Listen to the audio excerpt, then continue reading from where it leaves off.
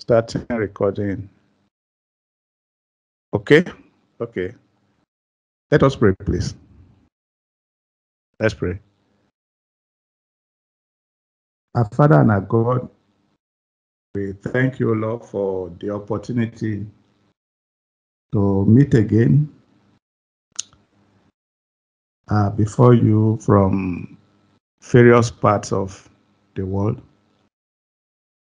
Lord, that you be our teacher. Guide us, O Lord, open our our minds, open our ears and our eyes. Cause, dear Lord, that we will see the Lord Jesus Christ as we check your words today. Bless us with yourself by your Spirit. Lord, we know you created the universe, and the earth is a very small for you. And therefore, we know that you will be with everyone wherever we are on the face of the globe. We pray, O oh Lord, that you indeed be the teacher to each one of us in Jesus' name. We pray for our brethren that will be joining us, that Lord, you'll be with them. And you'll bless them too, to the glory and honor of your holy name. And we pray for people that we eventually watch and listen to this Bible study. We pray that to cause the Bible study to be a blessing to everyone to whom it will come, to the glory and honor of your holy name. In Jesus' name we pray, Lord. Amen.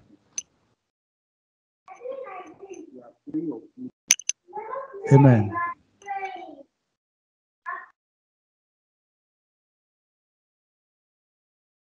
Yeah. Yeah. Let me share the screen.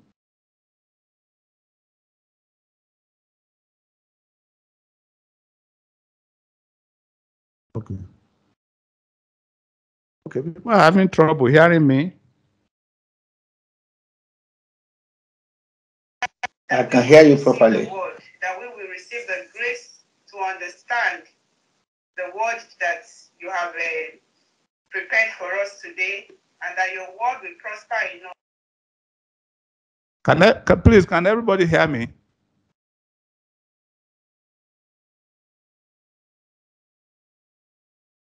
Of I can hear you. You have mute, you have Very muted everybody. You have want muted everybody, so in our lives they may not be able to name of Jesus. Respond to your call. Okay. Yes. Okay. To respond, let, let me unmute everybody so that everybody can respond. Uh, okay.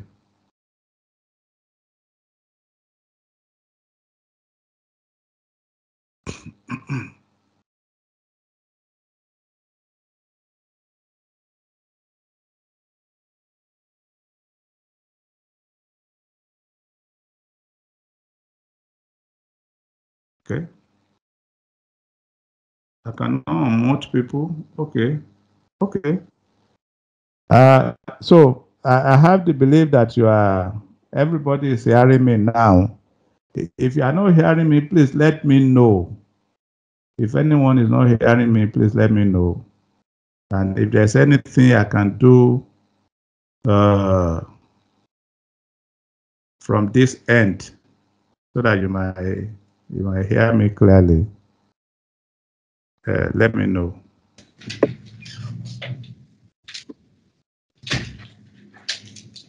Yeah. Okay.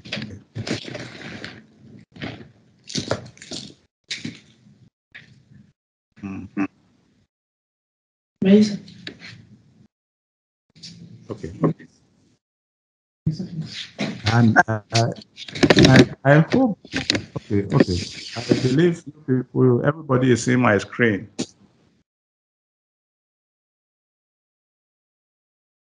So we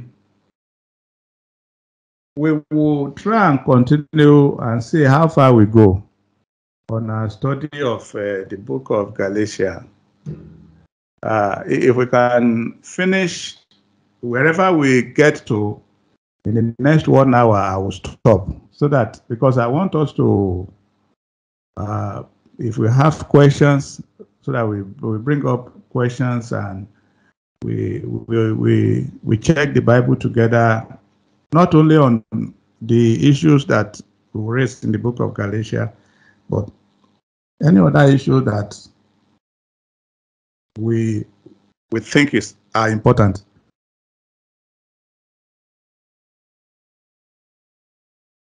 The book of Galatians we have done so far, we have done the chapter. And as you can see on your screen, uh, this is the beginning of uh, of chapter four. Uh, sons and heirs of God. And let me let me start straight away by, by reading it. Now I say that the heir, as long as, as he is a, is a child, differs nothing from a servant, though he be Lord of all, but is under tutors and governors until the time appointed of the Father. Even so, we, when we were children, were in bondage under the elements of the world.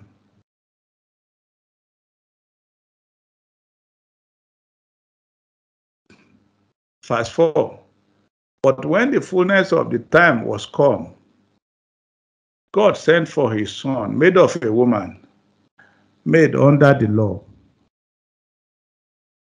to redeem them that were under the law, that we might receive the adoption of sons. And because ye are sons, God has sent for the Spirit of His Son into your hearts, crying, Abba, Father. Uh, almost like every other part that we have touched in the book of Galatians. Chapter 4 uh, is starting by, with reference to our relationship to God brought about by Christ is starting with the issue of the law, what the law is, where the law could take people or has taken people. Compare with the faith that comes from the promise of God. So, now I say that the hair, as long as he's a child, human beings are anybody who is seeking after God before the coming of Christ. They are, they are depicted as the hair. The hair that has to be taught, has to be tutored, has to be guided under the various laws uh, sometime last week, I know we mentioned the position of the laws.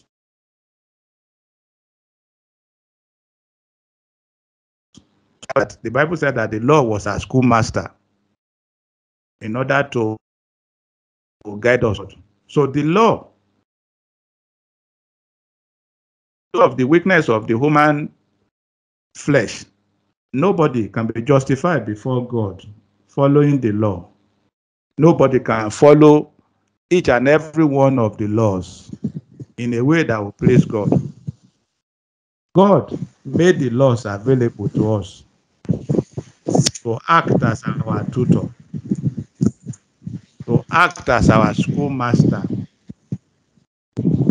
What, what the law generally does is to, at the, at the uh, is to show you how weak you are, is to show you the inadequacy, show you your inadequacy. That is what the law does. Uh, if if if somebody is really intent on pleasing God, and the person does not have the faith of the Lord Jesus Christ, the person is going to come to a frustrating dead end sooner than he thinks. Because he will discover just as you have in the book of Romans, chapter 7, that Paul said he discovered that even where his mind is made is made up to to serve God, there's another force in his mind, in his flesh, pushing him towards sin. And that is even somebody who actually has been quickened to seek for God. The people that have not been quickened to seek for God, uh, they generally put up pretenses.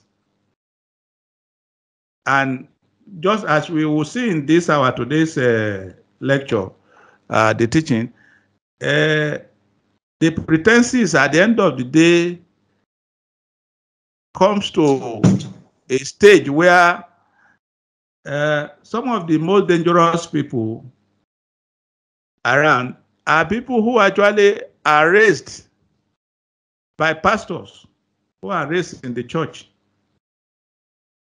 but who have got no connection at all to the Lord Jesus Christ. Their hearts have not been changed. Uh, they know some of the rules. If you if you try to talk to them about becoming Christian, they know the passages. They know the passages, but they do not they do not know the owner of the passages. They do not know God. So they become they become hardened, so to speak. They become okay. They become hardened in the in the attempt to in the attempt to to follow the law. Uh, you, you, some of them become actually quite cynical. You, you now have uh, cynicism. You, you have situation where uh, people, particularly children of pastors, bishops, and so on, uh, they are not intro- they are not taught the true faith of the Lord Jesus Christ. Uh, they become some of the worst people to be to be introduced to Christ because they think that uh, whatever is being spoken in religion is a picture of their fake parents who themselves don't know God. So the law, in a way, uh, for us to follow the law, to discover that when people become Christians, they are still the intrusion of the law, even for people who are Christians. Uh, they, their mind is woken up and they think that uh, they are obeying all the laws is what will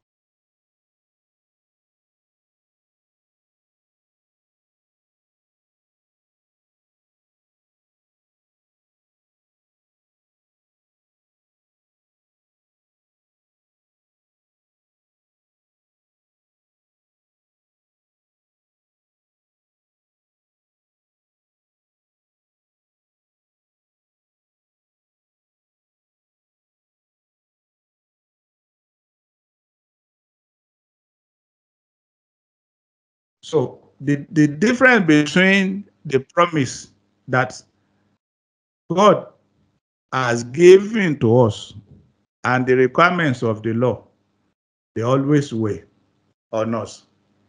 But when the fullness of the time was come, God sent for his son, made of a woman,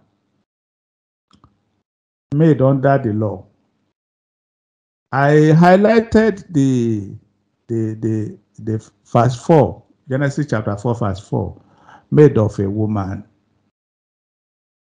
And if you see, if we if we check, uh, th- that's a very strange statement. I we, we that's one of the pillars of of the faith of Christianity, made of a woman.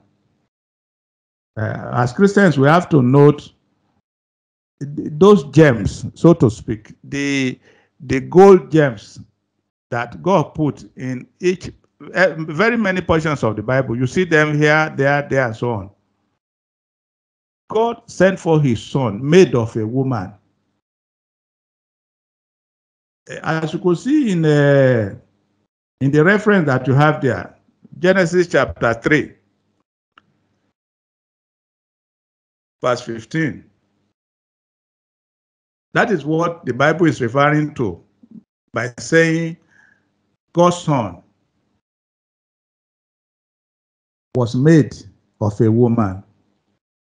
And as you could see on your screen, that's what I try to highlight about the seed of the woman. I put enmity between thee and the woman, and between thy seed and her seed. Strictly speaking, biologically speaking, women don't have seed. Women don't have seed. It's only men that have seed.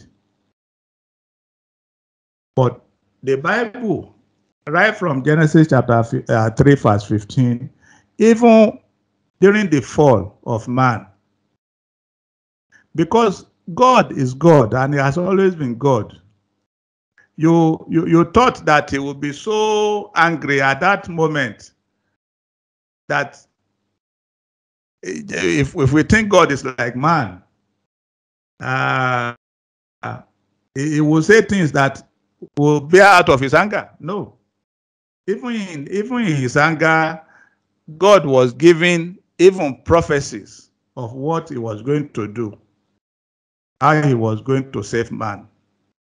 And the seed of the woman, uh, Christ, Christ was the only person, the only human being who this particular part of the Bible could be true of, made of a woman. Every other one of us were basically made of our father and our mother together. But that was that is not something you can say about the Lord Jesus Christ. Because that is part of what is in the Bible. Christ was going to come, the, the, the Savior was going to come through the woman. A, a, a particular woman will have seed.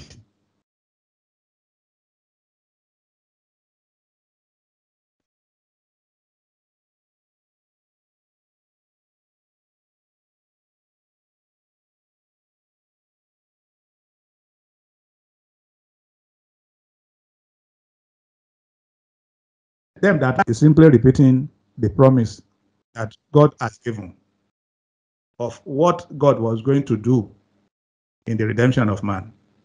And because ye are sons, God has sent forth the spirit of his son into your hearts, crying, Abba, Father. Verse uh, 6 Because we are sons, God had sent forth the spirit of his son into our hearts, crying, Abba, Father. God's spirit dwells in the heart of every child of God. And the Spirit of God is the, is the person that draws us closest, closer and closer to God. In our temptations, in our walk, in our struggles, God's Spirit comes to give us hope to draw us closer to God. We see God as our Father. We, we, we yearn, we yearn to move closer to God every day. The fear that human beings normally have of God, that is the dread, the dread about meeting God. When people are forgiven of their sins, the dread vanishes. We fear God so that we will not offend him. That is the fear of the son. We do not have the fear of the rebel again. We have the, the fear that draws us nearer and nearer and nearer to God. And therefore, we can call him father. We can call him daddy. Abba, Abba in uh, Abba in Hebrew is uh, is, uh, is something like daddy. It's, uh, Abba, Abba in Hebrew is uh, something like uh, is the affectionate name that uh, that sons give their father. because we are no longer enemies of God.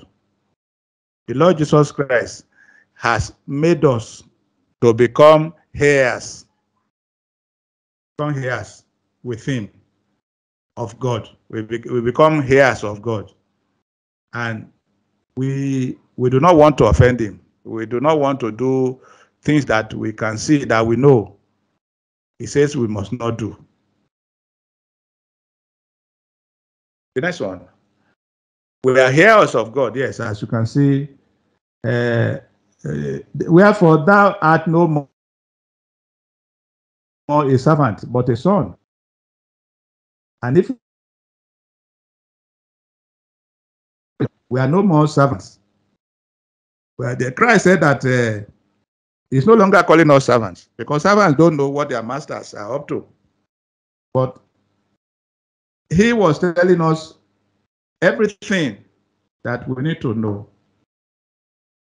We are no more, we are no more uh, servants, we are, we are sons. We are sons. The Lord, God regards us as, as a son. The Lord Jesus Christ made us sons, made us sons of God. Christ has made us sons of God, and we are heirs of God.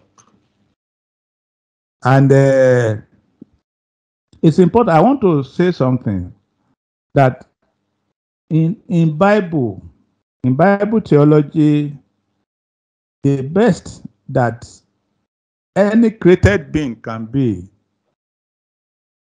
is actually to be in right relationship with God. If, if we read our Bible, that is the main object of, of the Bible. The objective of uh, of the Bible is that men uh, will, will will be in a situa- in situation of of sonship with God.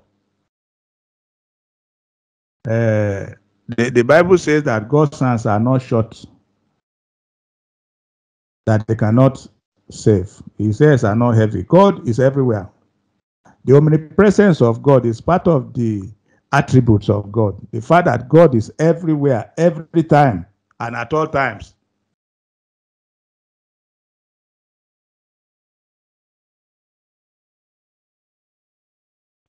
And in all and, and in all places.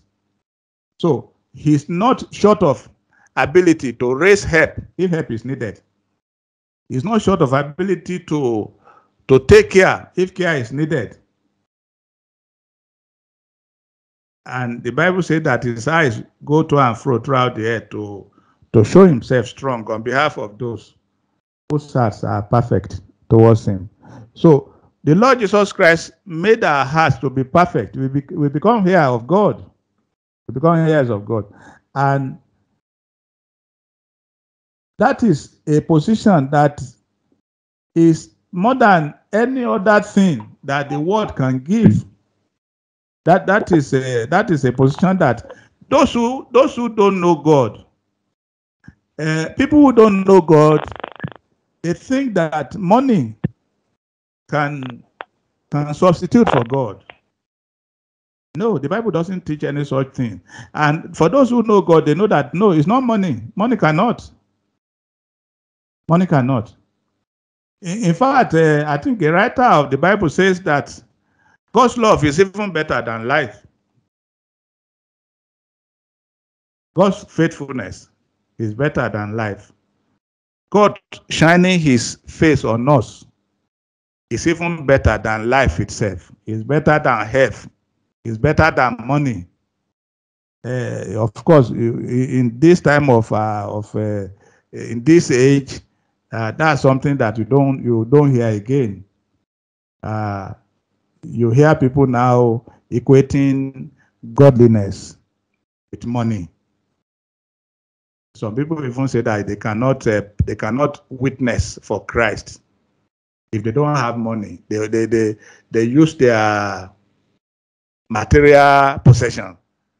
That the, the material possession is the basis of their witness for Christ. That without uh, being rich, you cannot witness.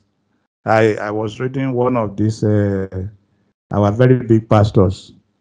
I was reading his uh, sermon uh, some few weeks ago, and that was what he was saying that he, he used his uh, PhD,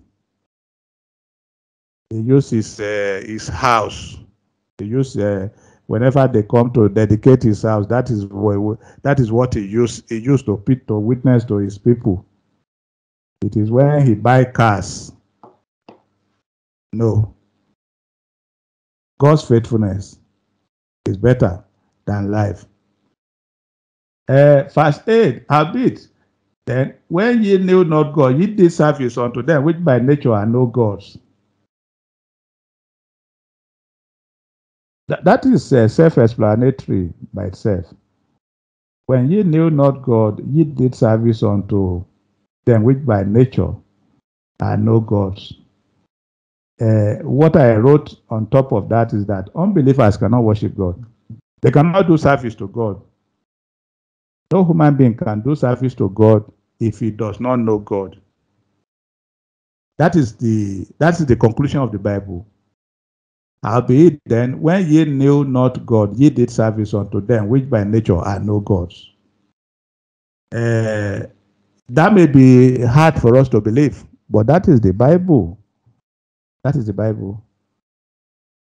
Uh, if if uh, uh, we, see pictures of people uh, in Hajj, for example, uh, moving around around Mecca, uh, a statue or something like that, a stone.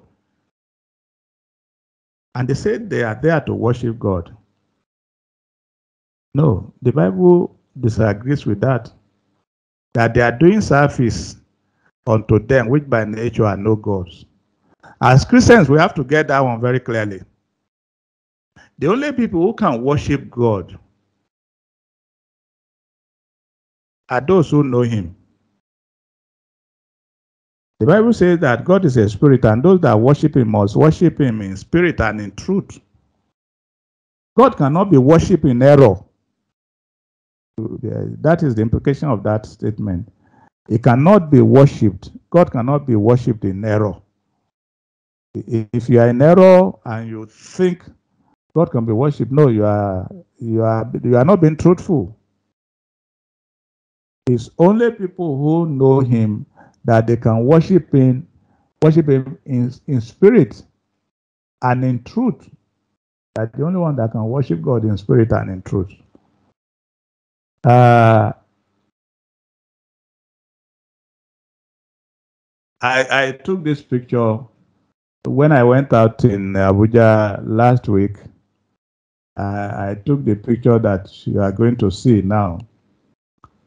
And we, we just let let's wait a little for the for the screen to come up.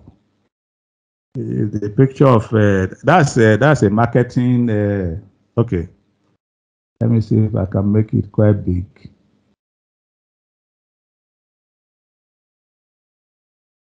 It's a marketing. Uh, okay, I, I, hope you can all see it now. You see, uh, they say worship. It's a big. It's a big board. It's a big signboard that they put in various places in Abuja, and you see the. You see the picture of uh, Dr. Adeboye on it. Worship. It's a very sad thing because uh, when I when I when I saw it, I stopped the car and I I took the picture. Who are they worshiping? Who can they worship? Can somebody who does not know God, can the person worship God? No. The Bible said that when you knew not God, ye did service unto them, which by nature are no gods. There's another passage of the Bible where we are told that the gods that unbelievers worship are demons, they are idols. And we have to be very, very uh, care, uh, careful about that. Even though it might be uh, it might be hard for us to take it, if people gather together and somebody has the capacity to tell them to, for example, look at a rod and pray. Focus on a rod and pray, for example. Any place where people gather together and they do error in their worship, they are actually in worship of demons. They are not worshiping the God of the universe. But it's not possible. But now, after that ye have known God, or rather, or rather are known of God, how turn ye again to the weak and beggarly elements, whereunto you decide again to be in bondage? That was the problem of uh, of the people of Galatia. Some of us get into that same problem too. And nowadays we have to be we have to be we have to allow our eyes to be open. That people come around and tell us that we have to observe days and months and festivals and and sacraments and this and that, that they are not putting us back into bondage. If we are able to get there, part of the main teaching of Paul in the book of Galatia is about the liberty that the faith in Christ has brought Christians. God is no longer, let me tell you something, God is no longer angry at you. Please get that one very clear. I want us to underline that. Once you become a follower of Christ, the anger of God on sinners, on human beings, evaporates as far as you are, as far as you are concerned. Please, I want us to note that God is no longer angry at you. If for us, if for example, tomorrow you discover that you do not have ten dollars in your account, let me tell you that it's not because God is angry at you. If tomorrow your car breaks down anywhere you are traveling to, please get it assured in your heart that God is no longer angry at you. No. God, God's, God's anger at you has been satisfied by Christ. People therefore asking you to observe days, to observe months, uh, Sundays, uh, Saturdays, uh, Easter, Christmas, whatever festival. No, it does not apply to Christians. Yeah, we we we, we don't wait we don't wait till Easter before we remember Christ. We remember Christ every day. We remember his suffering on the cross every day. We don't wait until December before we remember the birth of the Lord. We remember his birth every day. That, this is not a teaching that we should not gather together. Please, I want to get it very clear. If we, if we have the opportunity, we must gather together and worship. That's what the Bible says we should. Somebody should contribute psalms, sermon, revelation from God, observation of what God is teaching his people. Yes. But if we're in a position where we cannot do that, we must let it settle in our hearts that by because of Christ, God is happy with us. And we can therefore pray. We can pray, give us this day our daily bread with the heart of a son to his father. We can do that while our hearts cry, Abba, Father, to God, whom Christ said is the only good person. So with, that's what we settled. Our Father is the only good being in the whole of the universe. He's not angry with us. He's not. He's no longer angry with us. His anger has been satisfied by us hiding in Christ. So, uh, for let, let let's see verse eleven. Paul was talking of Galatians that he was afraid of them. I'm afraid of you. Let's have bestowed upon you labor in vain. He was afraid. He wasn't sure again. He wasn't sure about whether these people actually believe the gospel or not. Because they had reverted back to the observance of days, of new moons, of times, of festivals, which never helped anybody. They have reverted back to the weak and the beggarly elements, as he put it. Uh, in fact, uh, Galatians chapter 4, verse 13 uh, is an interesting part of the Bible. Because uh, as you can see on your screen, uh, Paul was reminding them, you know how through infirmity of the flesh I preached the gospel unto you at the first. I, I isolated that passage with the headings that you with the heading that you see there. You know how through infirmity of the flesh I preached the gospel unto you at the first. Uh, when Paul was preaching to the people of Galatia, he was he was visibly sick. Please, infirmity and the word infirmary. Uh, for those of us who are a little old, uh, you know the the old name for hospitals uh, was infirmary. That's that's the that's the old name. Some 50, 60, 70 years ago, uh, they call hospitals. And maybe in some part of uh, Britain, they still call hospitals by that name. What is very clear in chapter in Galatians chapter 4, verse 13, was that Paul was sick.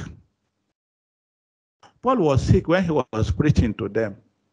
And the people of Galatians could see his sickness.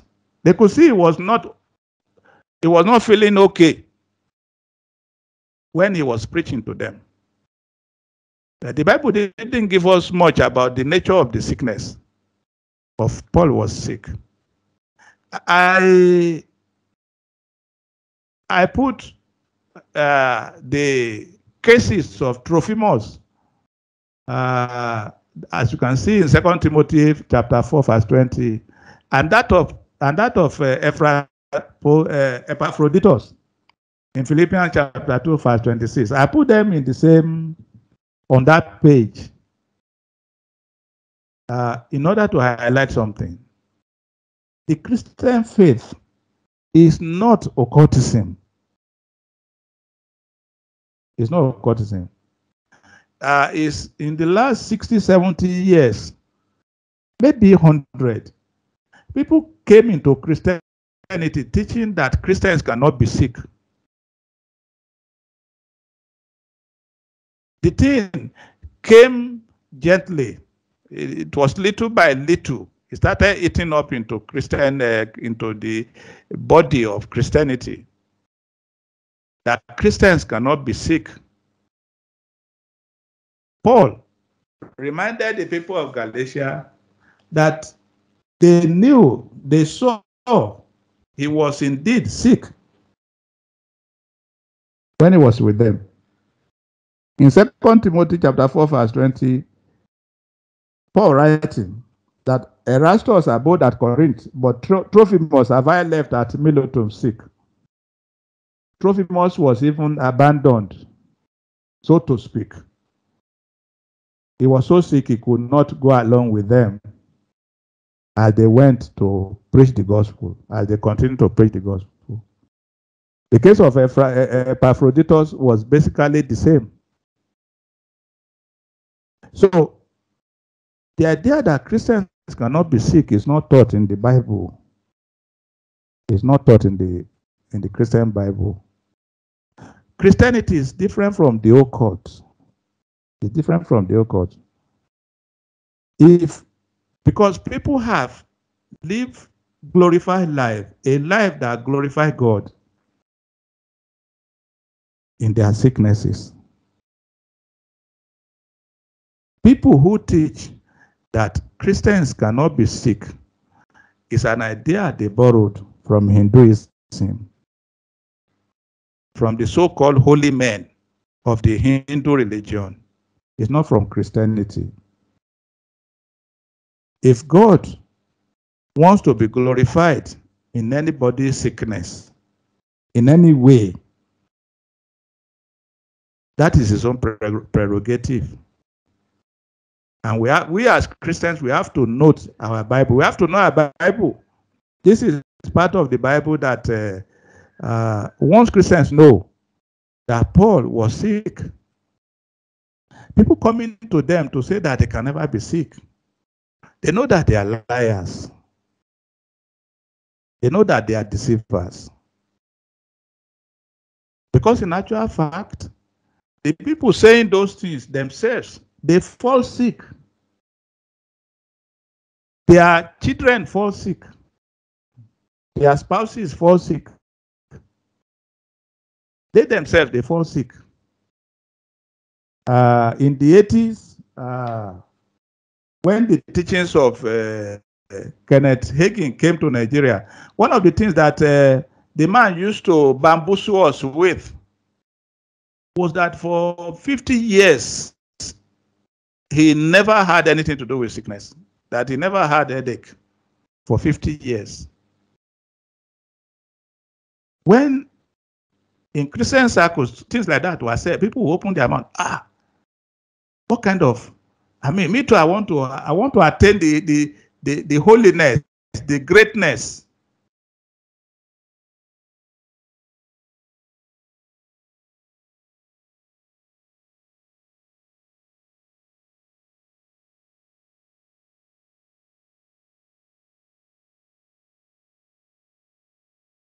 it was later that we realized that, realized that can I can I that it was all lies. That uh, Mr. Hagin was uh, lying through his teeth. That he was he was sick. He was coming in and out of uh, of surgeons' uh, tables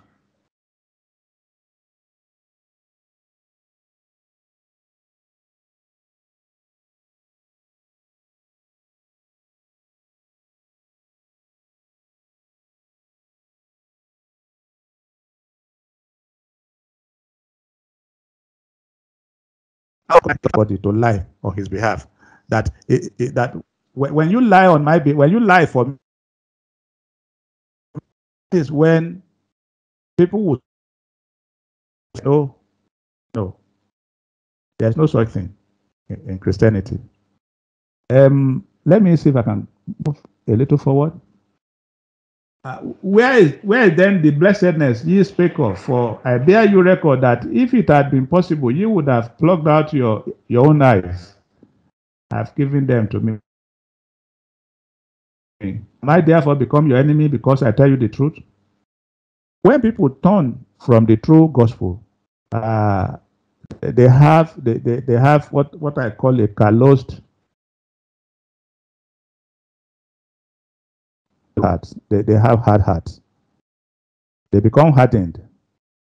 Uh, uh, in turn away from the from the truth, from the true gospel. They become something else. The simplicity of the gospel is, is the truth about God. And that is where we should stay. Uh, somewhere, I think, in the book of uh, First Corinthians, chapter four, verse six, the Bible said that we should not go beyond what is written. Don't go beyond what is written. What is clearly written. Don't don't say God says something when God I didn't say any such thing. Uh, verse seventeen. They seriously affect you, but not well. Yea, they will exclude you that he might affect them but it is good to be seriously affected, always in a good thing, and not only when I'm present with you. These distract detractors, seriously, they are very serious. Uh, as uh, as Paul as Paul himself wrote in Romans chapter 10, uh, the Jews. At times, uh, the Jehovah's Witnesses they put some of us to shame about their zeal. At times you listen to you you watch the followers of false religion, the uh, the followers of Islam. Uh, you they put you to shame with their seal. And the, the issue, the issue was is the question that you see in red in, in before you. Can anybody change God's mind by mere seal? If you are zealous, let's say you are zealous in serving God, but you are doing it in a wrong way, will God be bent? Can God's mind be bent towards you? The answer is no. There's no such thing. Because as you can see in Romans chapter 10, verse 1 to 3, let me see if I can get it for this uh, benefit of some of our people that we that we get this material. Let me open to Romans chapter 10. Uh, as you can see on your screen, brethren, my heart's desire and prayer to God for Israel is that they might be saved. For I bear them record that they have a seal of God, but not according to knowledge. The Jews, the people of Israel, they have a seal for God, but not according to knowledge. That's another thing that I used to tell people. The Jews have nothing to teach us. The Jews have nothing to tell, to teach Christians. No. No. We, we, we, we do not gloat over the Jews. No, we don't gloat over any other human being. We are to pray for God to have mercy on them. That's what the Bible says we should do. But we are not to fall for the tricks of the devil that you hear today on TBN and other uh, other church uh, programs on the TV. That there are some special things that the Jews have that you don't have. The Bible never teaches any such thing. We are the only ones that have things that the that the Jews need, and that is Christ. The Jews, they have seal, but they are ignorant about God. If you have seal, and uh, in Nigeria and uh, maybe other parts of the world, the other people that I, when I was growing up, that I, I witnessed such seal with are the Aladura people when I was growing, growing up in Lagos. Uh, I uh, I used to I used to visit them. I used to go to the bar beach in those days to go and witness to them, and I wonder these people they they they they face the elements. They sleep in the cold uh, around the bar beach in order to meet God supposedly they, they, they tell you that they are that they are after God. Of course, what they would never entertain was you opening Bible with them. I, I learned that from the Aladuras years ago. That you don't open Bible, you don't you don't ask Aladura people to please let us read the Bible. And uh, the people who are following them in uh, Word of Faith today in Pentecostal churches, they are simply following the pattern of the Aladuras. I know many of you, when you read my, when you watch my video, you hear me mentioning Aladura, Aladura. Yeah, it was because as a young person, I had, I had the opportunity to interact with the Aladura people. I, I knew what I, I had idea of what they what they taught in those days, and to a large extent, that is what they still continue to teach to today. They they they, they teach about the need for dry fasting, for example. If you go to if you go to the Aladura and you have uh, any issue to pray about, uh, you want God to do something for you, they tell you you go and do 21 day dry fasting. And they tell you the dry fasting means that you will not, you will not eat or drink.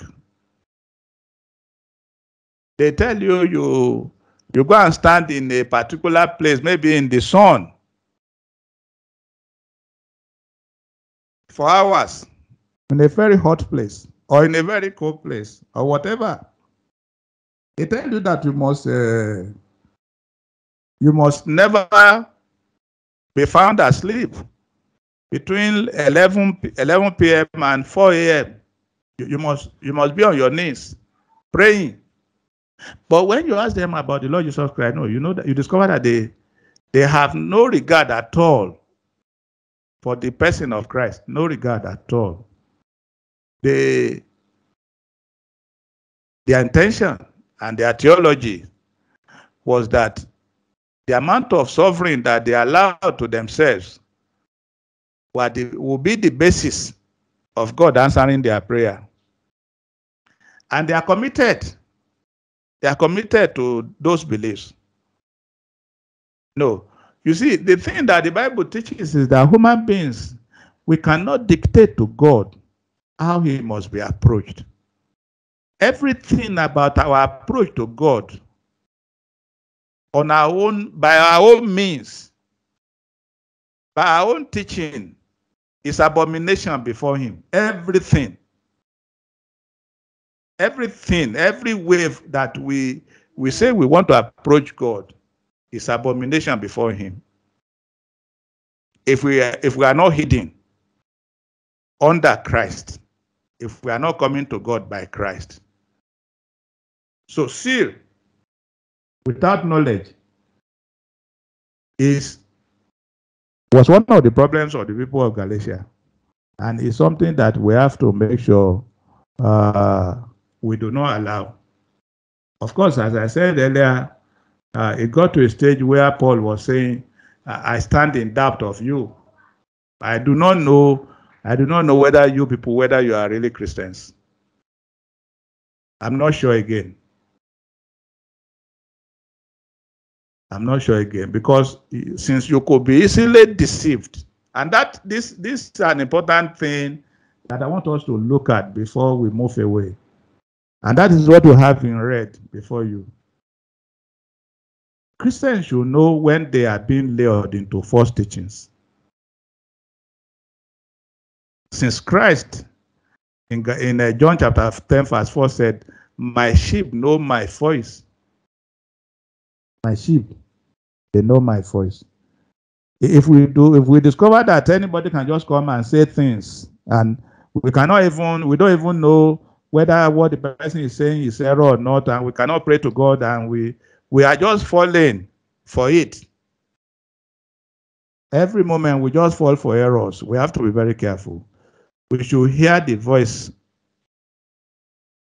of our God. A true sheep must know the voice of his master. My sheep, they know my voice. And uh, the other thing I want to say is that uh, it is uh, you, th those of us who are listening to this, it's not my voice that drew you. Please get that clearly. It's not my video that drew you. It's not my writings that drew you. It's the voice of the Lord Jesus Christ is the is the one. Maybe maybe a Christian helps you to pinch you and say, look, why don't why don't you check the Bible or this or that? But that's all we can do as Christians.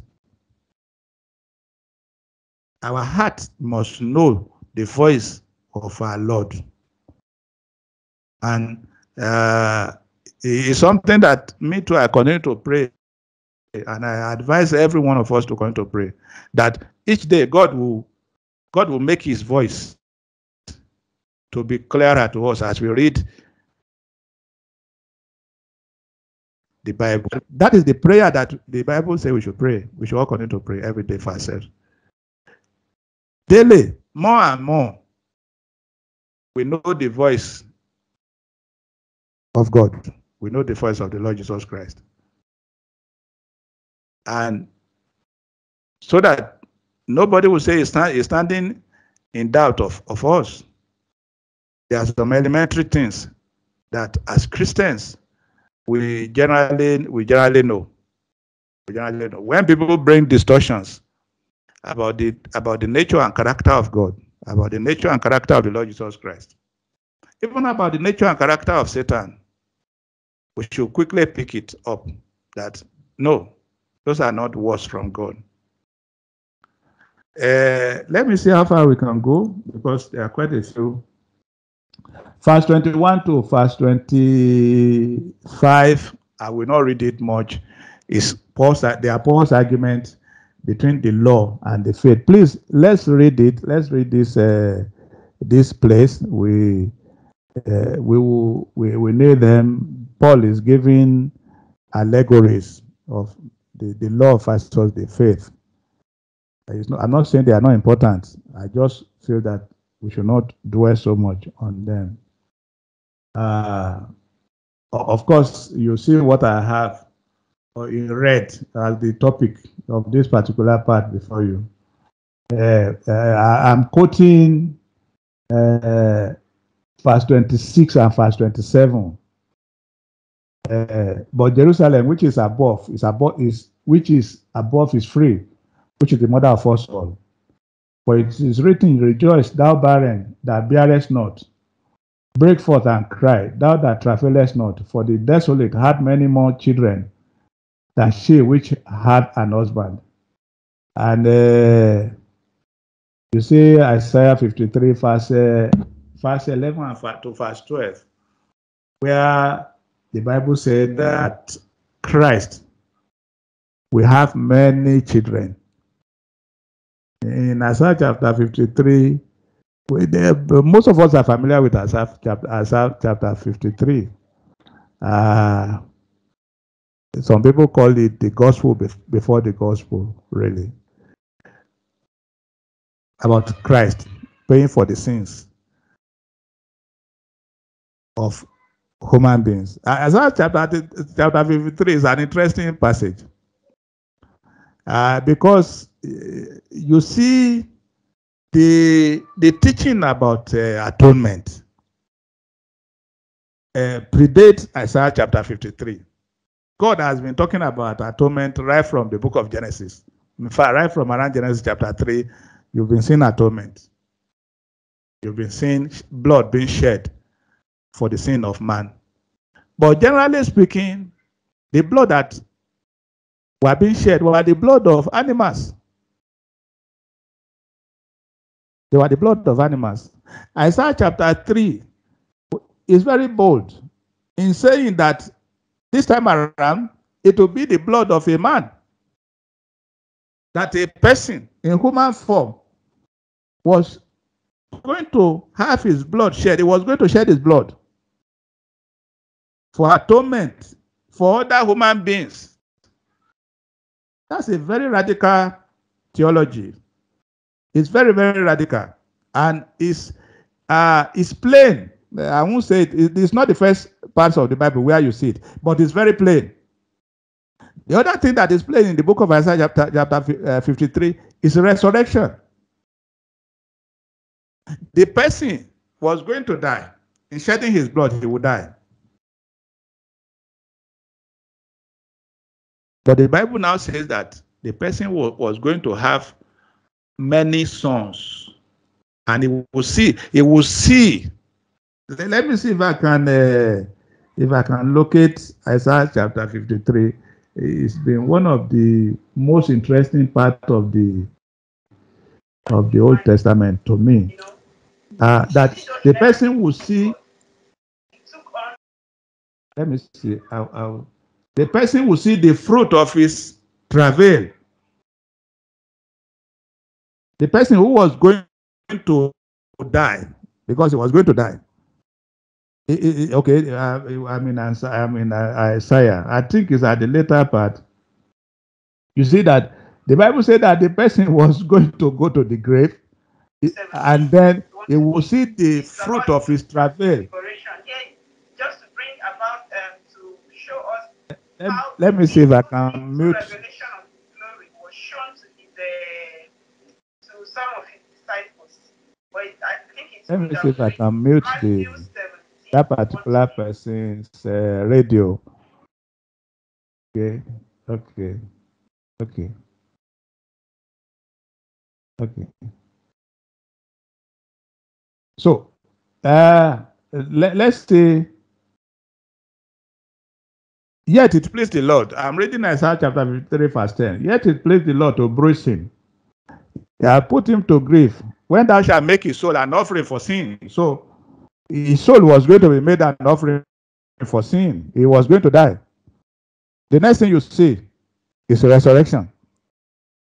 Somebody whose soul has, has been made an offering for, for sin. The Bible says he shall see his seed. So he will rise.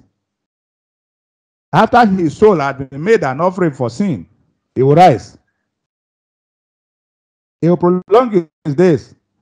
The pleasure of the Lord shall prosper in his hands. And look at verse 11. Verse 11, verse 12. By his knowledge, my righteous servant shall justify many. So, just as we are reading in um, in Galatians chapter 4, verse 26 and verse 27, the barren that beareth not will break forth. Those, the one that travaileth not in, in birth, it will be the mother, the father this time around of many. Um, let me see, maybe 12, let's see. Yeah, it's likely. Yeah, let me see, verse, uh, verse 5, uh, chapter 5. Chapter 5, I think, okay, no, okay, fine. Okay. So then, brethren, we are not children of, of the of the bondwoman, but of the free.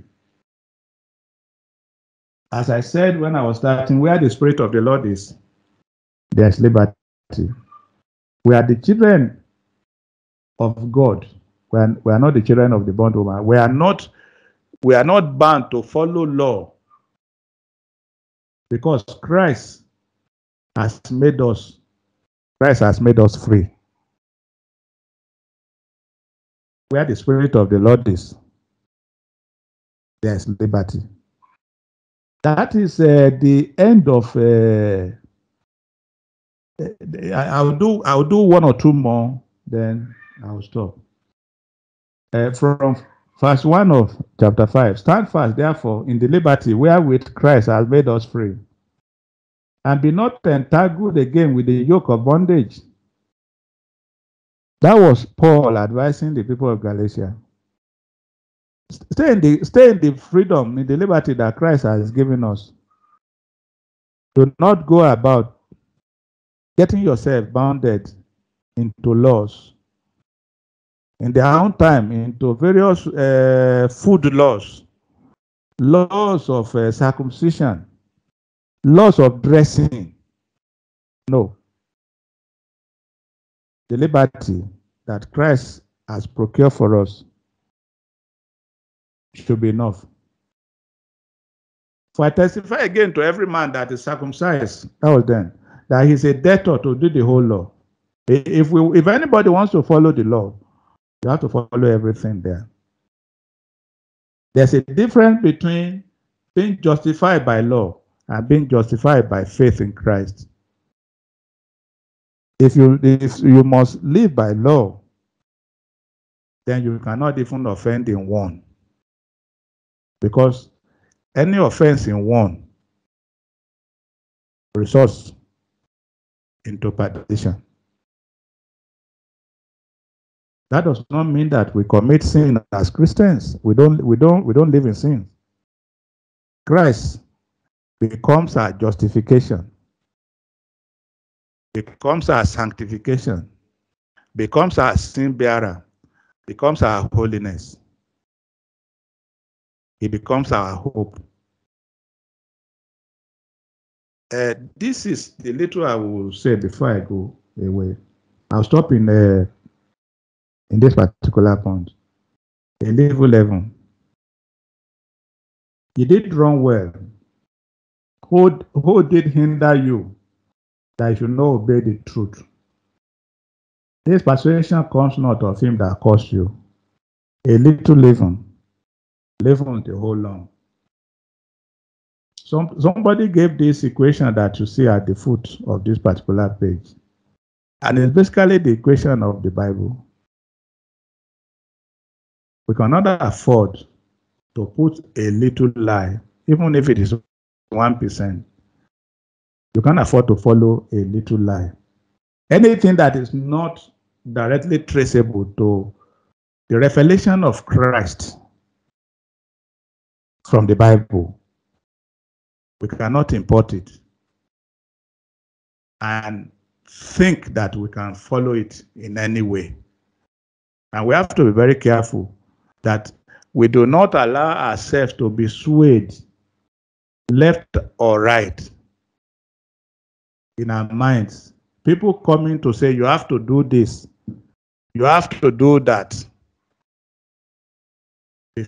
before God can be happy with you. And all they say basically, they have very little to say about the Lord Jesus Christ. What you must do, what you must not do, uh, at kind of dressing you should put on, what kind of dressing you should not put on. And by that, they are not even talking of uh, simply women covering their. And no, they tell you uh, your turban has to be of so-so dimension. And when the, the same time that uh, Boko Haram uh, complains about, the same time, the, the same time that ISIS people complains about, they say that yeah, you, you must wear those kind of turban too. And uh, there must be no ring in your finger. Uh, at times uh, they tell you that uh, any any any iron on your body is a sin.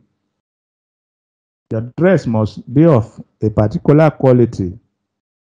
If it's beyond that quality, then it becomes sin. All those kind of things.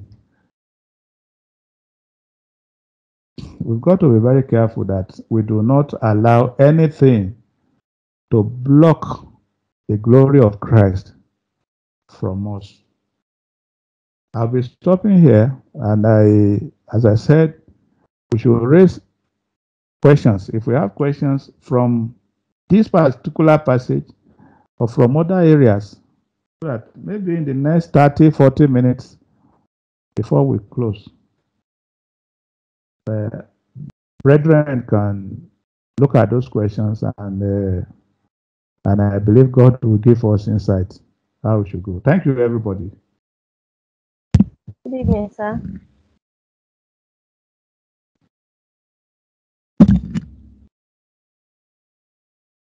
Good evening.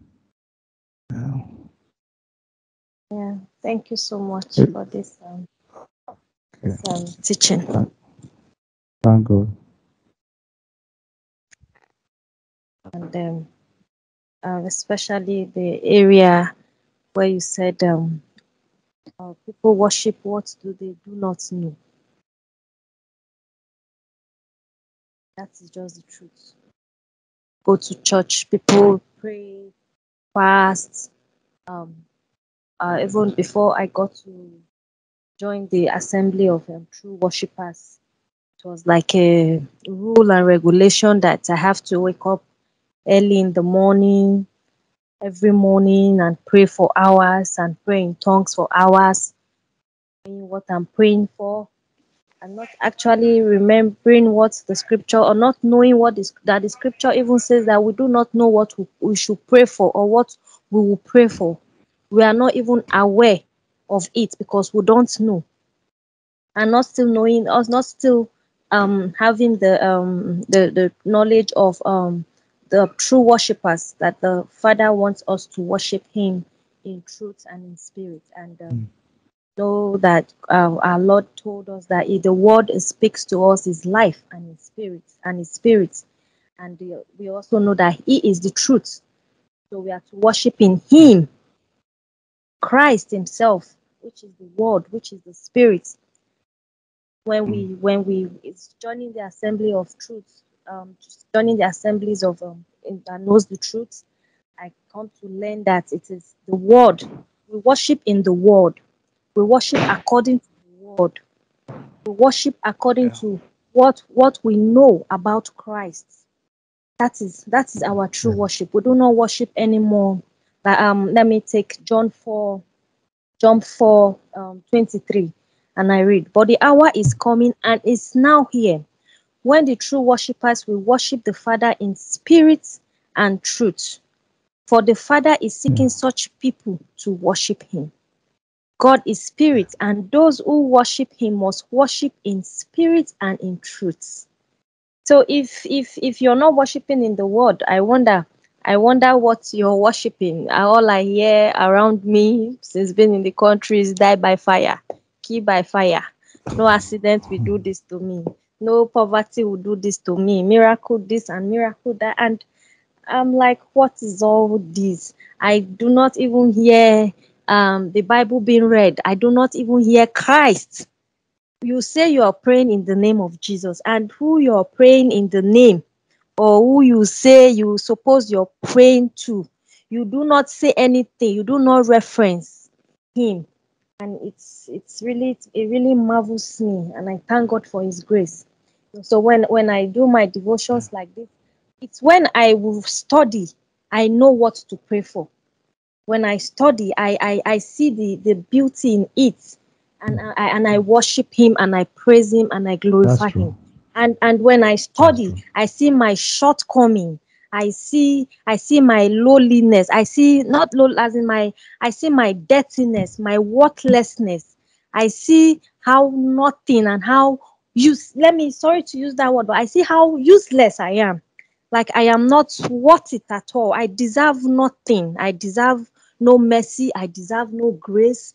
In fact, I deserve the deepest part of hell itself.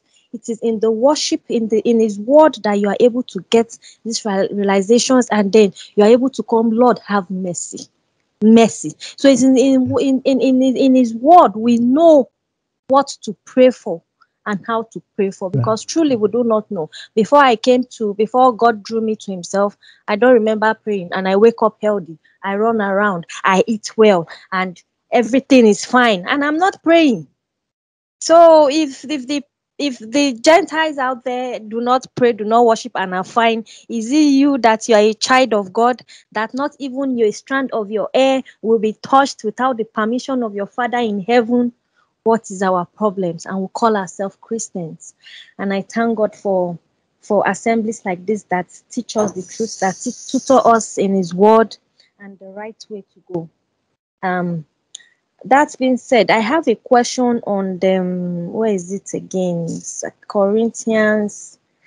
Um let me look for um hey where did I? where did i put that thing? Where is it I have a question. Um, where Paul said, um, uh, I'll, I'll pray in my with my lips and I will pray with my spirit. Sir, please help me with that. First Corinthians. I don't know if you can help me. Uh, 14. I think it's 14. First Corinthians 14. First Corinthians 14. Yes, thank you. Yes, I have a question on that. Um, Okay. yes, I have a question on um, First Corinthians verse four, uh, chapter fourteen. Mhm. Yeah. So it my when um ve- uh okay okay Uh, Verse 15. Oh, verse 15 so when when paul says um what am i to do i will pray with my spirit and i will pray with my mind also i will sing with my spirit but i will sing with my mind also i really want to have um a, a clear understanding of um i will pray with my spirit you know. I worship in in the spirit as in in the word of god that i get the that i get the understanding. And i worship with my mind my own mind that's my own understanding of the word. I do not know if that's the right interpretation. And even my with my spirit that my spirit is um confusing me there. So i would really like um if my elders can actually help me right interpret this uh, Okay. thank you so Thank much you. for this Thank you very well. Thank you. Yeah, so she's waiting. There's uh, we are waiting for answers.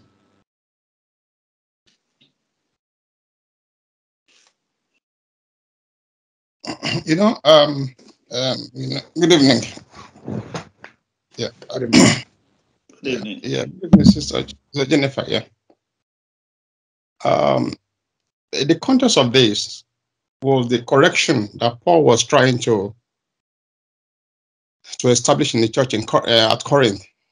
You know, this church is one of the most worldliest church, if I can use that language. You know, the church that were taking themselves to court. Um, one of them was having affairs. with his father's wife. They were eating things onto the onto the idols, and uh, a number of things was happening in that church. They were even questioning Paul apostleship, and all this we see from chapter one up to up to chapter um chapter ten and chapter eleven or thereabouts. So in chapter twelve, they now dive into the issue of tongue. Maybe somebody wrote him about some people speaking in gibberish, not tongues, because tongues are for signs and, that- and they must be intelligible languages. So um, they now began to do the correction in chapter 12. In chapter 13, he talked about love. In chapter 14, he now, talk, he now was not comparing tongues to um, tongues and prophecy. And um, it- within that same context, he now came up with this issue that listen, because the idea was some people are saying that, oh, okay, okay, they're not praying in that tongue as Paul was talking about. They are praying in some angelic languages. That is, they are communicating with God, or sorry, with God. And um, because you see the um, chapter one, he, um, uh, um, uh, verse one, and so he was talking about issue of pursuing love and things like that. So now the question is, what did he now mean by praying in, in, in the spirit? And um, well, he said, I will pray with my spirit. Uh, let's let's cite it the way it is. Uh, what uh, what uh, what am I to do? I will pray with my spirit, but I will pray with my mind also. Your mind is in is in is in the is is the understanding of the word. In fact, you made mention of it. You said uh, earlier on when you are doing your postulation, you said um, we don't know what to pray for, but the Spirit does what intercedes for us. Now, in your worship, when you worship and when you worship in spirit, it's uh, it you know it only brings out the fact that you are worshiping according to the written word. There's no spirit in the abstract that is in the heaven that is somewhere hanging there. When you pray in the spirit, you are praying according to the word of God, according to the will of God.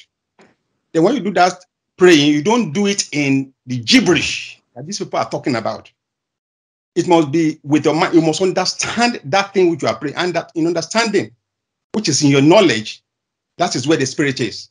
It says you praying in line with what is intelligible. You don't speak funny lang- um, funny gibberish or baby language, and you are not affirming that you are praying in angelic language. There's nothing like that.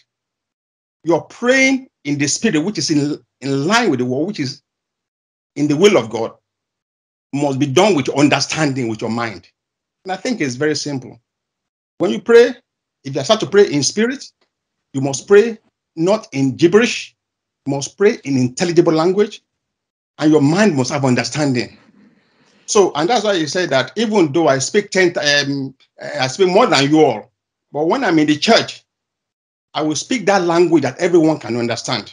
And when Paul talked about speaking in languages more than you, in tongues more than you, didn't mean gibberish. He was talking about speaking different languages.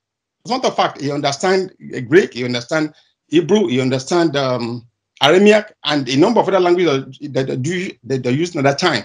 So it's about pray, uh, you know, this text is more to do with praying in spirit and having understanding, singing in spirit. You speak, uh, so you sing psalms in hymns that are within the will, confirmation of the will of God, and also with your mind. See that there is a particular song which I few few months ago posted. It was sung. It, it was it was sung by one of these. Um, I think there are two brothers also in this in this in the eighties in Nigeria. Um, that is the Holy Ghost came from heaven. Then uh, sorry, so Holy Ghost seated on the throne, and Christ is come to the earth. So, but real and truly, the scriptures talk about Christ seated in heaven, and the Holy Ghost is with us. But this song move it the other way around. I said the Holy Ghost is seated on the throne. Uh, I said the Holy Ghost seated on the throne, and Christ is come to us in the earth. You are not singing in the spirit because it because it doesn't align with the spirit of God, which is the word of Christ. So when you sing in the spirit, you must sing with your mind also. That mind, that, that mind understanding is key. And also when you pray in the spirit, the mind also must align with it. I you must you must you, uh, you must pray in a line that must be in line with it or in tune with the scriptures. And I think that is it. Thank you very In case, Uh, do we have any other addition?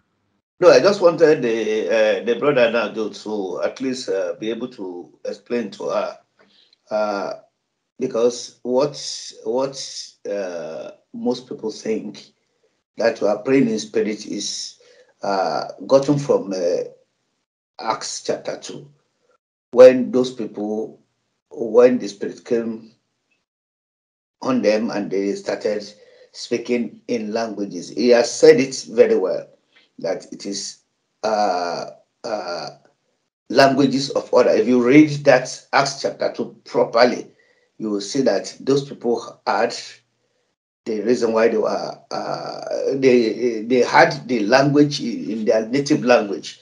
What does that really mean? That means that they uh, the Jews that were scattered all over that came to Jerusalem, who are living in Libya, living in all those places. For example, people, you know, some of our people now who lives in, um, in Germany, uh, the German language will be native to them. So those people had the disciples praising God in their native language. See, that is the thing that the, most people call, uh, uh, I mean, the, the, the general definition or the general definition of tongue is a language that is spoken in a place. So, what our brother has just explained is that the Spirit of God that is in you move you to pray in such a way to align with the will of God. However, if you want to pray, you may think, okay, I'm going to pray for elder. That's uh, you. You already predetermine those things.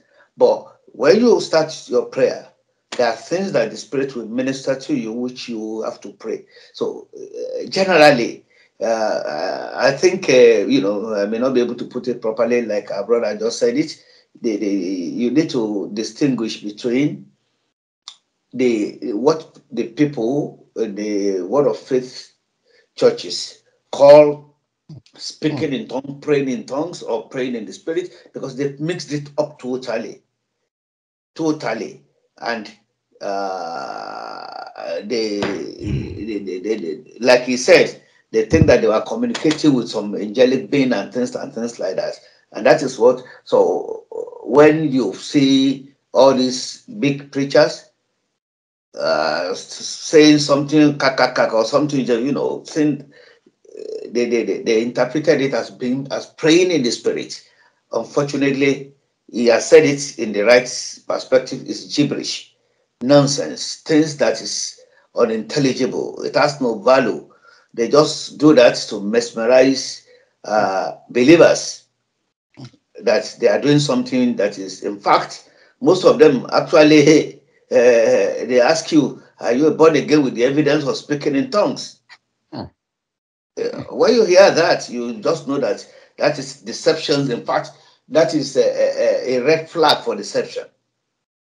A red flag for deception. I mean, where we had born again is in uh, John uh, chapter 3. We, uh, we didn't see Jesus telling us about uh, speaking in tongues. So, in understanding, my dear sisters, just like our brother has spoken to you, I want to pray for, uh, let's say, want to pray. Uh, you see something, the Spirit of God move you, or you you want to pray your regular prayer. You have some things that you want to pray about, and while you are praying, something else, God is touching you to pray in such a way. In fact, He is the one that will give you the speech. Is the one that the Spirit will be one, the one that will lead you. You even pray, and sometimes you say, "Hang on, did I just pray this way?" Because it is not you, just like our brother explained. It is the Spirit of God that is in you, that is leading you. And that's why the Bible says that those that are led by the Spirit of God, they are the children Very of God. true. Very true, sir. Thank you, everybody. Thank, you, Thank you. sir. Um, let me let me chip in a little information uh, that the Lord used uh, in the uh, in the early eighties. Uh, in the around 1977 or so, uh, I became a Christian in the uh, December, the last uh, week of December of 1976. Uh, uh, that I became born again. So please, you don't, you don't get the impression that I, I was, it was idol worshiper. We were going to church. yes. At least uh, a Google festival, we, we follow them. Mhm. So, uh, in, 19, in 1977, I bought my first Bible. Uh, in those days, you didn't have many Bible fashions. So very often, when you when people bought a new Bible and in, in the English language, more often than not, it was likely to be King, King James Bible. Um, what I'm going to tell you, uh, help the Lord used it to help me a lot. Around 1983, Grace got to Nigeria about tongues. The Bible I bought in 1977, the preface to it, because it was King James Bible, it was King James Version Bible. The preface, we, we all know what is what a preface is, I suppose, isn't it? Uh, the, the, what the authors writing you to a particular book. The preface to it was uh, was the Bible English tongue. They, of course, you know the, the way the English, you know the way the way they uh, by the by the order of the most majestic King James, the whatever and so on, uh, who gave us uh, uh, his uh, his glory, his word to write the Bible tongue. Okay, I read that seven uh, from the pre- preface.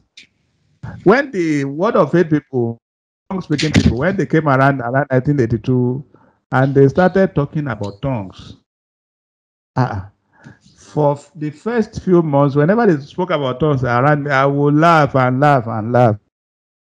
The, what i'm telling you now is the english tongue. You are hearing the me. If, i change my my face and i put on my you hear the your tongue again. And that, that that actually was the meaning of the word tongue in the Bible. That's what I want you to know. Please comes around says that tongue has any other meaning apart from ordinary languages. They are not quoting the Bible. I want us to know that one. As, as Jophia as what I've just said is is is very important too.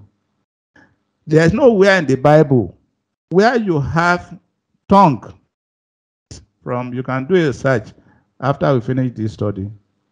Nowhere in the Bible where you have tongue that refers to anything other than intelligible of ideas.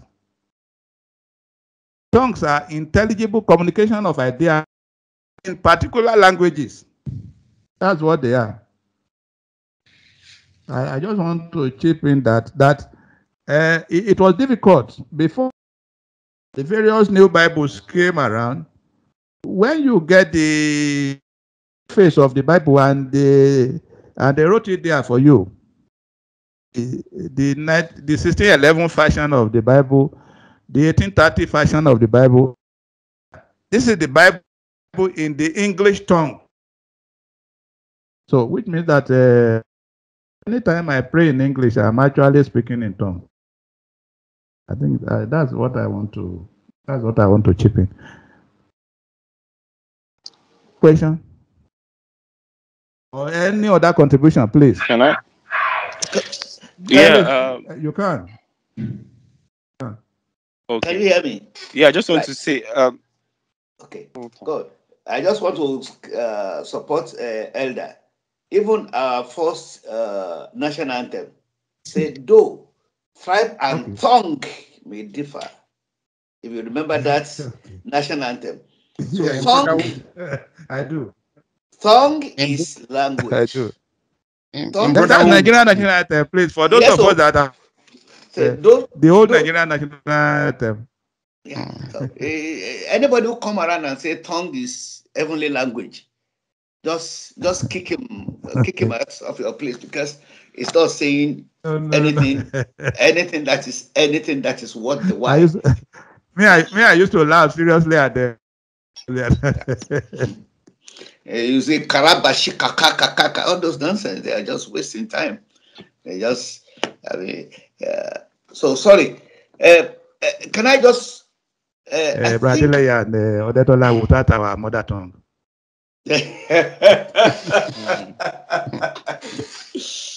All right. Um, I think you are trying to when you are trying to use uh, Isaiah 53. I think the one that was talking about uh, the barren woman that should be Isaiah 54, chapter one.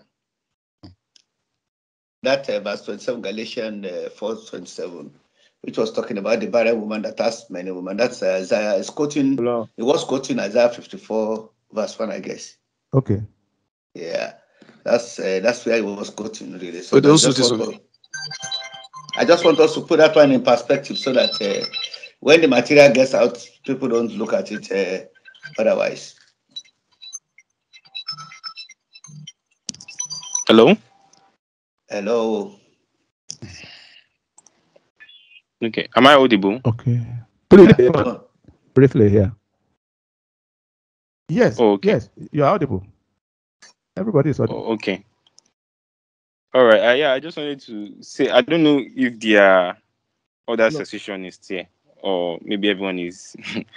well, uh, regarding tongues, I, I think um, the best way uh, we can um, think of it, or the Please best come again. biblical way to look at.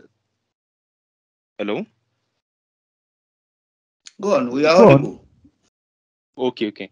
So regarding tongues, um, it's if you look at the old epistles and um, no, from the Old Testament to the New Testament, from the Old Testament and then to the epistles, and you study the issue of tongues well, you see that you know after we have the scripture, um, or after the apostolic times, uh, tongues are have ceased, like the gift of tongues, no, where the apostles and the church then will be able to you know speak um, languages they've not heard before or they don't know before that gift have ceased and why is because um, paul tells us the reason for that gift in in in first corinthians 14 that it was a sign to Mm. as a judgment sign to israel to the nation of israel i don't know why a lot of charismatic and pentecostal church miss they don't you know look at that verse where paul says this tongue th- this gift is a sign to unbelieving israel and when did when was the period of you know, unbelieving Israel? That was in the first century uh, AD,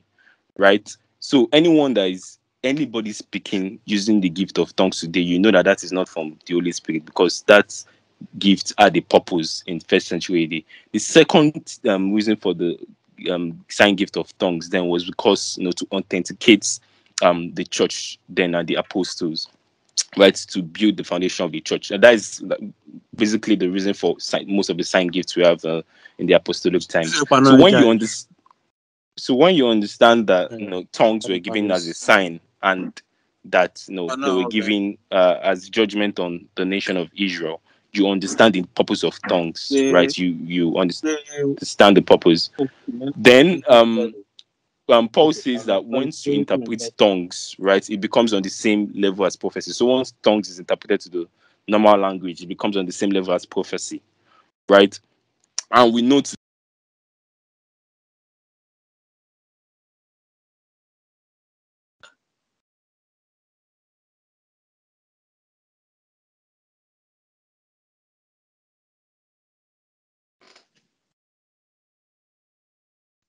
I hope you have not missed him.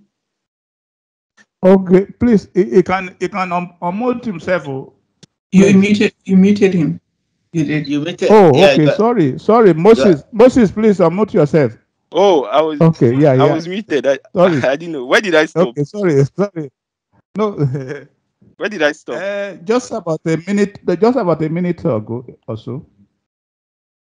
Oh, okay. So let me just summarize what I was saying. What I was saying was that Okay. um biblically the gift of tongues have ceased in our age now. Like um gifts they had then. And why it is because Paul tells us the reason for that gift, which is as a sign to unbelieving Israel in First Corinthians 14 22. A lot of Pentecostal and charismatic churches ignore that verse. I don't know why they, they don't even remember that verse when they are you know giving the argument for tongues. So in verse 22, it says, um, Don't you know? Um, it says in those to know that tongues are a sign not for believers but for unbelievers. Why prophecy is a sign not for unbelievers but for believers. Then um, Paul quoted um, Isaiah. You know, Isaiah already prophesies that God will speak to his people in another language. And now that has been fulfilled already in the apostolic times in first century AD. After that time, there was no need for tongues again. Why do we tongues again this age when God has already fulfilled what he needed tongues for in first century AD? So anybody speaking in tongues now or claiming to have the gift of tongues now is not from the Holy Spirit, definitely. And then I said the other reason is tongues were a sign, right, to establish the church, to confirm the apostles, right? We don't need that now since we already have the word of God, which the apostles has given us. Jude says the faith once and for all delivered to the saints. And the third reason is that tongues were revelation then in the first century AD, right? They were they were you know revelation from God. And now that we know that um there is no new revelation today after the canon of scriptures has been completed, right? We then know that God cannot be giving anybody gift of tongues to give new revelation. Because if someone is having the gift of tongues today, right, that means he's giving us new revelation, right? If somebody is saying, oh, he's give, having the supernatural gift of tongues, then that means he's giving new revelation. We know there's no new revelation. All revelation ceases with the close of scripture. We have every um the once and for all delivered faith. Peter says um, everything we need for life and godliness is in scripture. So nothing like that again. So we know as Christians that rightly exegete the word of God, we know that sign gifts were for a purpose. From Moses to Elijah to Jesus to the apostles, they were for a purpose. God doesn't just you know do signs for nothing. And now that God has completed his word from the from prof, from the Lord to the prophets to the gospel, he has put all his word in one book one perfect book. Hebrews 1 1 said, In diverse time, he spoke through the prophets and you know, he spoke in several manners. But in now, he has spoken through his son. Finally, he has spoken. Right, and we have that testimony of his son in scripture. So nothing. Everyone wants to hear these people saying there's one prophecy, New Year prophecy, or there's one tongue. People are speaking tongues, or yeah, vision. You know that that is nonsense. We have everything we need in the Word of God. Right, so that should even make us already cancel the issue of tongue. So you don't even need to argue with all these Pentecostals on ah from why it has you know you know from First Corinthians 14 blah blah. Just tell them Isaiah prophesied the use of tongues will happen and it has happened. It has been fulfilled. Or are there are, are people seeing um um is the event of first century the happening now? If they can point to it happening now, then probably they have the case. But we know that has fulfilled its purpose. So yes, um, the sign gifts, especially the gift of tongues, have ceased. Right. The only gifts we have now are for the gifts that edify um, uh, uh, the church that are not sign gifts. So gift of teaching, you know, teaching the word of God, exhortation, and all that. Right. Not sign gifts right so so once we understand that we know that all these people they're just you know charlatans and you know, so yeah that's my contribution. Thank you. Thank you, Moses. Thank you. That's very good. Um, do, do, do we still have one or two questions? Have about a minute or two. I, I, I've not heard the voice of faith apart from when we were starting to. I'm here. I don't Oh, have any okay. question, but I'm here. Oh, okay. Thank you. Thank Mm. you. Thank you. And um, Caleb, oh, the last week we didn't hear your voice. I I hope I hope you're okay.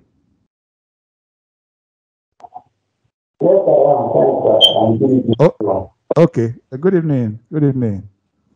And Hosea, I, Hosea, you are welcome.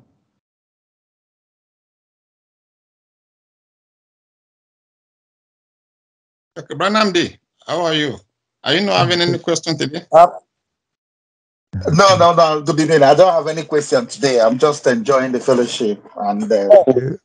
uh, the only thing, the only thing that just struck me is um, when the brother said that uh, even praying in English is, uh, if I'm praying in English, I'm speaking in tongues. The thing sort of shook me, like, hey, this is that this, this is this is unbelievable. that this is unbelievable. Why haven't I thought of this before? I'm I'm Igbo. I'm Igbo, so I can if I if I pray in in in my that in Igbo, that means I'm praying in tongues. So You are. Sure, you goodness are. gracious, goodness gracious. So, so uh, while you were still while you were speaking, um, uh, one brother, uh, I think Moses, I can't remember, was speaking. I was like, hey, I, I think I need to just go go into my room now, lock it down, just just pray with Igbo. It's, it's still the same. It's the same thing with my dear brother. yeah, yeah, yeah, yeah. We just we just don't realize things. We just don't realize things until you know you're in a fellowship and things just you just hear things. You're in the spirit and you just hear something and it just strikes you. You know, it strikes you. But why haven't I thought of this before? Praise God. Yeah, the same way, the same way, when people say uh, destiny changer, when they say that, you will resonate with it. But go and look at the ordinary definition of destiny. Can it change? Mm. Can destiny change? that is, uh, go and look at all the destiny helper. You see, all those nonsense, all those nonsense, Buzz, buzzwords. Now you, will, buzzwords. you will resonate with New it. apostolic uh, reformation buzzwords. Uh, uh, born again Christian. What is the meaning of that? Born again Yeah. Christian. so all those Born again Christian. That's another word. That's tautology. with the evidence of speaking in tongue. Are there- eh? are there Christians that are not born again?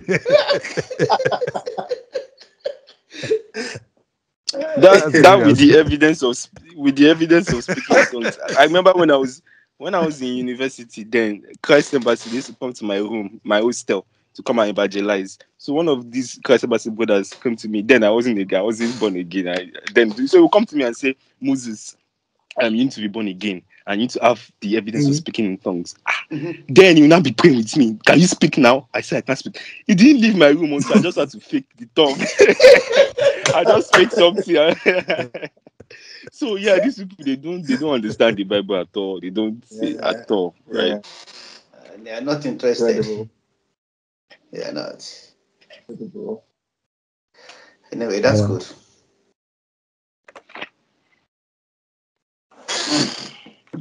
Thank you so much, sir. And also, um, I want to add that. Thank you. Uh, uh, um,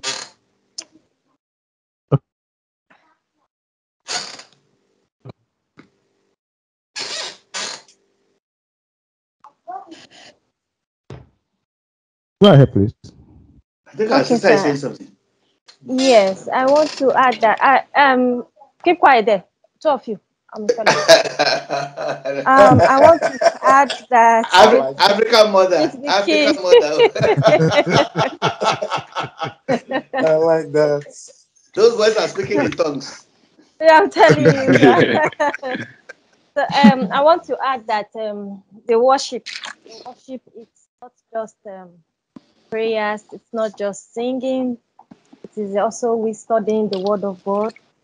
It is also we making decisions that goes according to the Word of God. When we want to take decisions, it has to be according to the Word of God. That is our worship.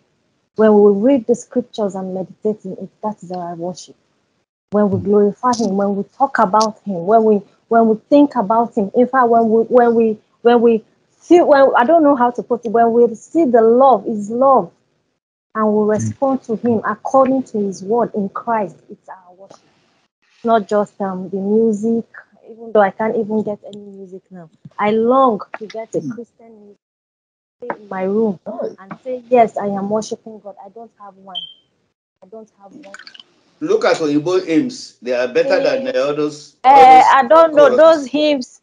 Those hymns I've tried it out. Kind of boring. They're like, oh, ah," so I think they're old school, old school No. for elders. Yeah, You know, for are- No Are you problem. looking at- Looking- I love him, so ah, I love him.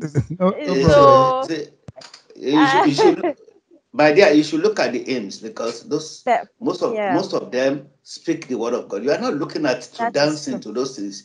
So look at the aims. I'm not, you know, Yes. uh, not all my miracle. as a- my There's- miracle. all those ones you Well, can't get anything. Oh, I'm not taking Yeah, my boy, I'm not taking my- all those ones. They're just right. You're very right. Yeah, sir. hymns are hymns are theologically theologically sound. Those hymns, Yes. hymns are very Yeah. theologically sound. Yes, yes. That's they are inspirational. They were they were actually inspired. If you want me to say it Yeah. in a manner of saying, Mm. they are like uh, uh, give me this one, give me visa, give me that, give me those things, all those ones. Uh, but where Me- can we it's, find them now these And- days and- and too? run, What run we away see from is, elevation um, music. Uh, what go and buy. Yeah. have. Ah, I don't, where No. Ah, please them? run away from elevation music. Oh. Who's Uh, Run away from elevation music. you- Run away from. Bethel. Yes, so you song. Run You're away from away going, Hillsong. you're going far. Let's Run come away back from home. them. Let's come back home to Ada and um, what's that uh, Christ Embassy lady? Yes. Yes. um Sinach. Let's come back to them. You know, there's Come back songs. to them. It's every the um. Let's. I said no. We are going far to Bethel to Elevation Song. That's far. Even here in Nigeria, our Okay. worship system. What are they offering to us? Prosperity. Nothing. Worship. Sinach, You you just just you, prosperity. you just said what worship is. Worship is not just those songs. Yes, you, sir. just, you just told us what worship is. Worship Yes, is sir. the. So uh, don't equate it with uh, people who want to mesmerize you. That is with, true, sir. with hair. Say don't uh, say. Uh, st- That that's is why I true, sir. said if you find Sankey, if you will have some sort of praise, go and look at them. The music in uh, the songs that are in them. See, Okay. because it is the lyrics you really want, not the sound that they Mm. uh, the accompaniment. Yes. It is the lyrics you need to really understand. But if you go with all those ones, ah, my dear sister, you you you we need we we the new- younger ones we still need some sound that are biblical too. I wish we could have it. I wish we could have it too because I love sounds like that. I wish, but since I don't have them, I'm content with every other part, every um hymns that I can come along with. You know, so Yeah, that is sister, I what have, I have I'll to send add. you. I'll send you Please some send um, me. people theologically sound um um uh artists that you know, exalt Thank Christ. you. Oh, I can't even yeah, just thank you. Okay. Yeah. Please. How would I get them? How would I get in Maybe touch? How would I? maybe I'll just message you on Skype or I'll post it on the group for Okay. you know yeah Okay. on Okay. yes Yeah, yeah, post, yeah, post it on the group. I'm interested as well, Moses. That's good. That's yeah That's good. and um also I want to add that we should know that the focus is um heaven. The focus Yeah. is not ah, here on ah, ah, heads. The uh, focus dear, is for us to get there in Christ. my dear sister, prayers, my dear sister, be very careful. sir. Be very careful with what you just said. Do you think if you go to the garage, in, do you live in Lagos? No, sir. I'm in Delta where, currently, sir. eh? I'm in Delta you, State currently. okay. If you go to the garage in Asaba or wherever you are, and you ask somebody who is drinking will go, do you want to go to heaven? What do you think the answer will be? Okay. Yes. So when you just said the focus is heaven, every one of them focuses on heaven. You, under- you, you. I don't know whether it was you or somebody said when you hear the word of God and you respond to it, it's your response to the word of God to what Christ said. That is the that makes you the Christian. The rest, uh, the rest is is, is in His hand. okay, sir. You say you just go anywhere and say, "Oh, do you want to go to heaven?" Everybody will tell you. Even if you ask anybody, why are you a Christian? And they say wants to go to heaven, watch out. You may not even be a Christian.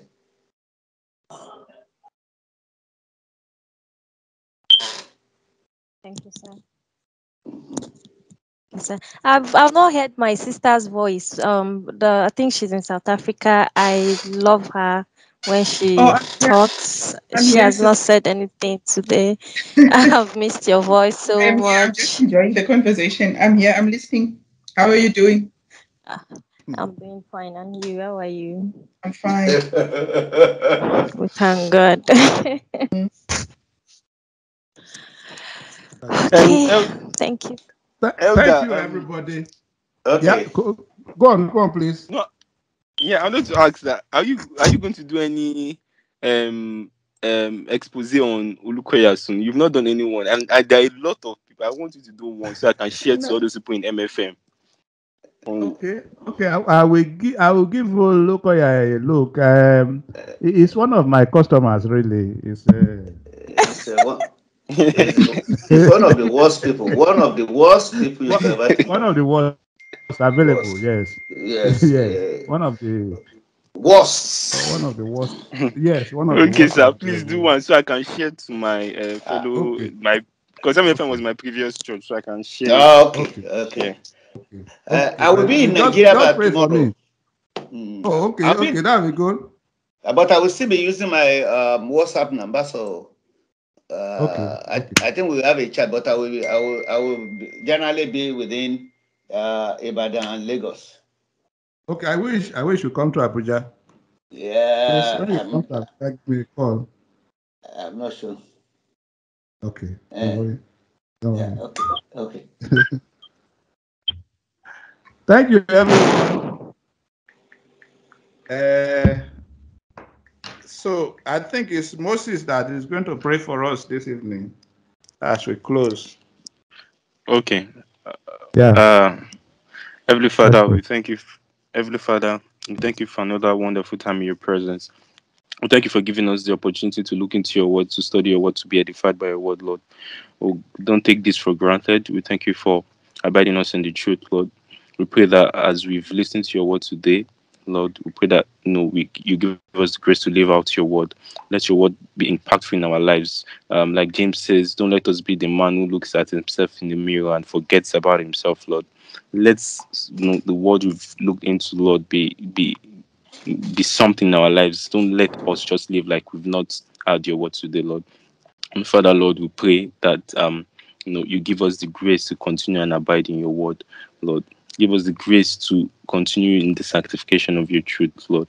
And Lord, we pray for those that are still in darkness, oh Lord. We pray that that through the ministry of your word, that they are regenerated, oh Lord, they are brought back to the light, Lord.